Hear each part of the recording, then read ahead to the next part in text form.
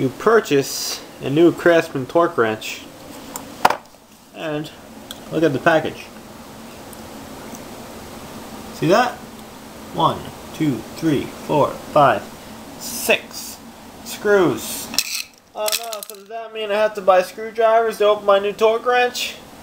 What kind of screw is this? Is it, is it this kind? Mm, no. What about, what about this kind? No. Oh, wait, wait. Can it be this kind? Hey. Whoa. So Craftsman is trying to sell you a Phillips head screwdriver when you buy a new torque wrench. Or they assume you already own a Phillips head screwdriver if you are going to use a torque wrench. Interesting. Huh?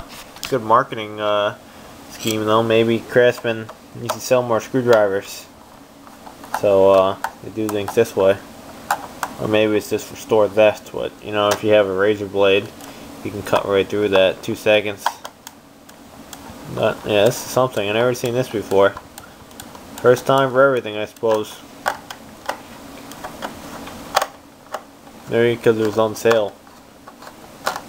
So you gotta go to all this just to open the thing up. Crazy. And yes, I know Craftsman does not make the best torque wrench. In case is anyone gonna comment, oh Craftsman torque wrenches are junk, or I don't use a torque wrench because I have a torque, I have a torque hand, I have a torque hand. I can do it in my wrist. 3 eighths inch pounds.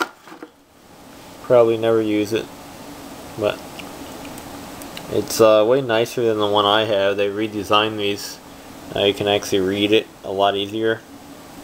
And the handle's nicer. And even the ratcheting head is different as well.